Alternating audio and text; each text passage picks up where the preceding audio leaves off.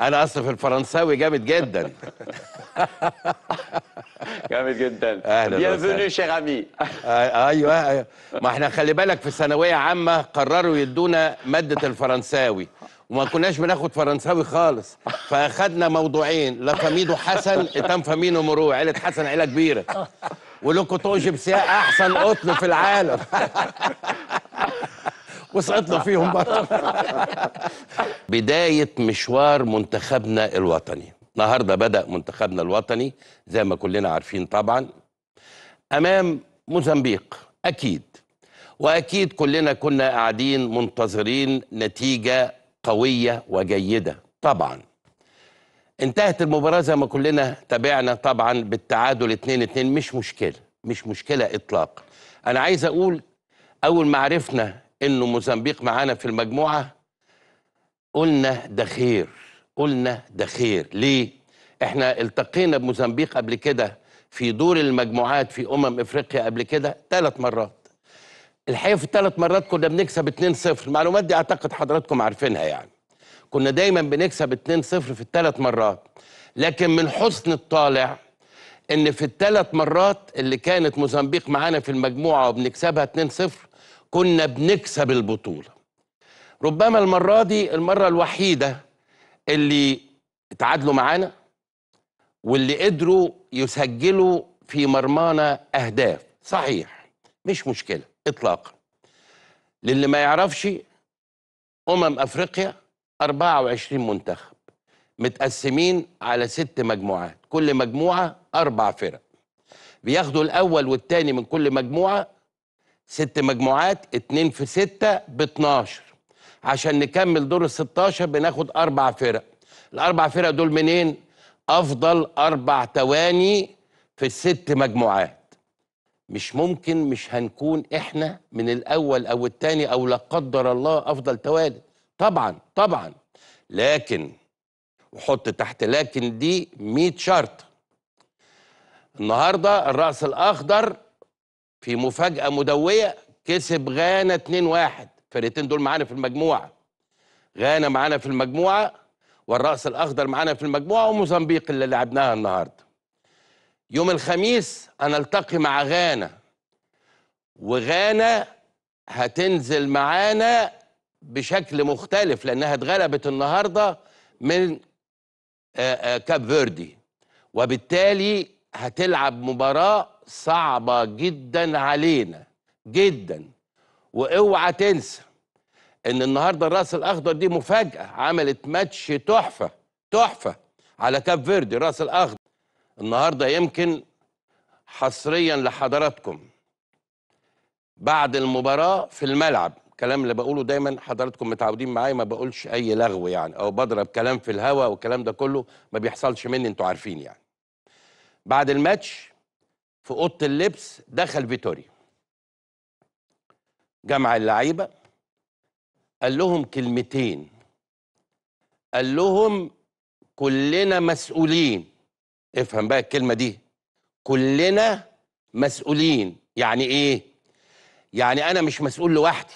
هو ما قالش كده. هو قال كلنا. الجملة اللي قالها قال كلنا مسؤولين. أنا أفهم بقى معنى الكلمة دي إن أنا يا حبايبي مش مسؤول لوحدي لا مش هشيل الشيلة لوحدي. كلنا مسؤولين يعني كل واحد فيكم يتحمل المسؤولية. دي الجملة اللي قالها أو الكلمتين اللي قالهم بمنتهى الوضوح. محمد صلاح أيضا كان دايما بيعمل اجتماعه مع اللعيبة تاني يوم. هو كابتن الفرقة كلنا عارفين طبعا.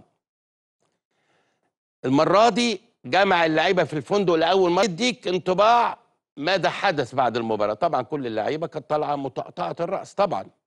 ولولا ربنا كرمنا بالهدف الثاني نتيجة مجهود عظيم من مصطفى محمد. صدر رجله قدام الراجل حط الراجل وش رجله في قصبة رجل.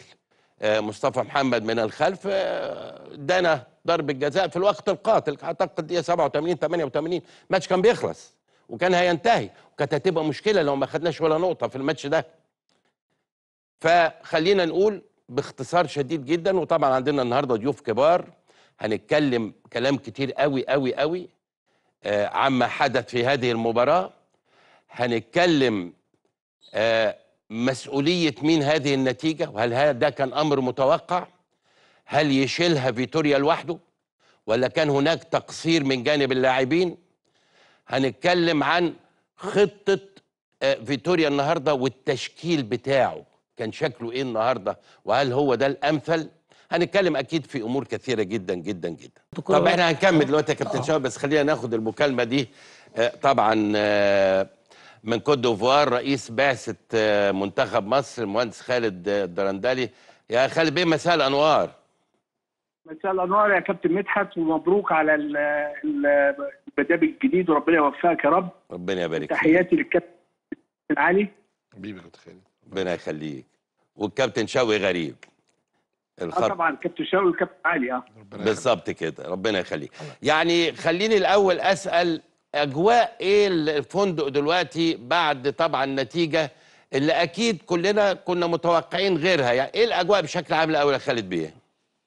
بص يا كابتن مدحت أنا عايز أقول باختصار طبعا ال ال إحنا جينا بعد ال- المباراة الكابتن ال- المدير الفني قعد مع الفرقة وإحنا قعدنا مع المدير الفني أنا وجمال بيه علام قعدنا مع المدير الفني. إحنا عايزين نقول حاجة برضو آه، إحنا آه، مش هنهرب بالمسؤوليه ولا هنجامل ولا هن لا إحنا طبعا في تقصير اللعيبة ما ادتش المستوى المتوقع منهم ما نعم ادتش المستوى اللي كان في المباريات السابقة كلها. امم آه، سواء داخل مصر أو بره مصر. نعم. ودي حاجة آه، إحنا كلنا مش هنهرب منها. آه، بس زي ما بنقول إيه ال- اللي بيهرب بالمسؤوليه ده خطأ كبير. صحيح. واللي اللي ما بيعترفش بالخطأ خطأ أكبر. مم. ف- فبنقول إن إن شاء خالد الله بيه بدون قطع حديثك حضرتك شايف الخطأ فين؟ معلش مش بص يا كابتن مدحت أنا مم. مش عايز أدخل في فنيات دي أنا سايب الكلام ده طبعا كل واحد تخصصه نعم، الفني نعم. دي حتته أي. ولكن أنا بتكلم آه، الإدارية والناحية المعنوية إحنا طبعا آه، آه، يعني كلنا زعلانين وكلنا بما فيهم اللعيبة أكتر مننا كمان مم. اللعيبة كلهم يعني لو تشوف اللعيبة حاسة بإيه حاسة بمسؤولية كبيرة لأن مسؤولية منتخب مصر اسم كبير منتخب مصر الناس كلها النهارده كانت مستنية آه، حاجة كبيرة وأداء كبير. آه، مسؤولية زي- زيارة سياده الرئيس ليهم والدعم اللي اتعمل لكل الفرق كل ده مسؤولية كبيرة جدا. ولكن برضو اللعيبة قد هذه المسؤولية. اللعيبة بتوعنا هم دول اللعيبة اللي كسبوا الماتشات اللي فاتت كلها بره مصر. اللي كسبوا آه، بلجيكا وهي تاني العالم. نعم. اللي السنة اللي فاتت مشيوا مشوار طويل جدا واتغلبوا أول ماتش من نيجيريا ووصلوا final بعد ما كسبوا كوت ديفوار صحيح. والكاميرون صحيح. والمغرب. اللعيبه لعيبه تقدر المسؤولية فعلا في خطأ حصل ولكن ال- الفكرة إن هم الناس دي يعني إيه حاسه بان هم مم. وعندهم ال ال ال ال ال القدرة إن هم يعوضوا وهم قالوا كده جميل. جاي أحسن. وإحنا- إحنا بجد إحنا مش بنقول كلام شعارات ولا حاجة ولكن إحنا فعلا عايزين ندعم المنتخب لأن إيه؟ النهارده أديك شفت غانا. ما غانا فرقة كنا كلنا متخيلين غلبت من كاب فيردي. آه يعني أتوقع فالمباريات الافتتاحيه دي بيبقى ليها ظروف تانية خالص. مش عايزين ندي أعذار ولكن إحنا لازم دلوقتي نقلب الصفحة. ونقف مع المنتخب لأن المنتخب ده فيه لعيبة على قدر من المسؤولية ولعيبة محترمة ولعيبة طبعا آه، عارفين إيه المسؤولية بتاعتهم. كون إن في تقصير حصل مش آخر الدنيا يعني. فإن شاء الله إحنا بنوعد اللي جاي أحسن وبنوعد إن الناس دي عرفت إن هي ما ادتش الصح واللي جاي آه، هيكون أصعب فإن شاء الله بإذن الله ال- المباراة الجاية هنعوض ونأمل بكده بإذن الله ونأمل بقى إن كل المصريين يدعموا. طبعا مفيش كلام مفيش كلام. تتشائم مش عايزين الناس يعني تحبط المنتخب بالسوشيال ميديا لا بالعكس إحنا عايزين ندعم واللي جاي بإذن الله هيفرح كل مصر إن شاء الله بنأمل. رد فعل فيتوريا إيه على هزيمة غانا هل ابدا أي ردود أفعال؟ إحنا كنا بنتفرج مع بعض. آه، آه، بص هو هو الراجل كل تركيزه الحقيقة دلوقتي في إن هو زعلان من ال من ال من النتيجة. واخد بالك؟ مش نتيجة نتيجتنا إحنا. نعم. هو راجل مركز حتى اتكلمنا معاه وهو حاطط في دماغه حاجات كتيرة جدا. مم. إن هو بكرة الصبح أول حاجة هيقعد مع لعيبة اجتماع ما كانش في الجدول يعني. ولكن مم. اجتماع آه، بكرة وفي آه، هو بقى مش عايز أقول هو هيعمل إيه أو دي حاجة بتاعته. نعم. آه، ولكن آه، هو له آه، أجندة تانية إن شاء الله بكرة هيبتديها. وربنا معاه بقى ومع الفرقة ومعانا وكل مصر إن شاء الله تقف مع فرقتها بإذن الله.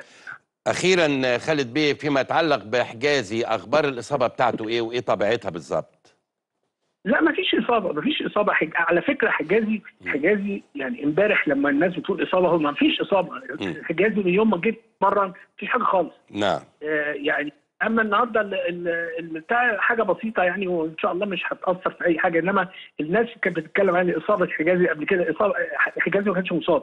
حجازي بيتمرن من يوم جينا. نعم. فأنا ما أعرفش أنا امبارح امبارح حتى يعني إيه امبارح أنا كنت في مباراة افتتاح. فاللي عارف لما أنا بتكلم عرفت مين اللي لعب مين اللي هيلعب بكرة والناس جاهزة وبتاع عرفت إن الناس جاهزة. فافتكرت الناس بتقول في إصابة حجازي. افتكرت إيه؟ إصابة إيه؟ أنا مش فاهم. الراجل معانا من أول يوم ما فيش حاجة فمفيش طبعا إصابة ولا حاجة خالص من يوم ما جه.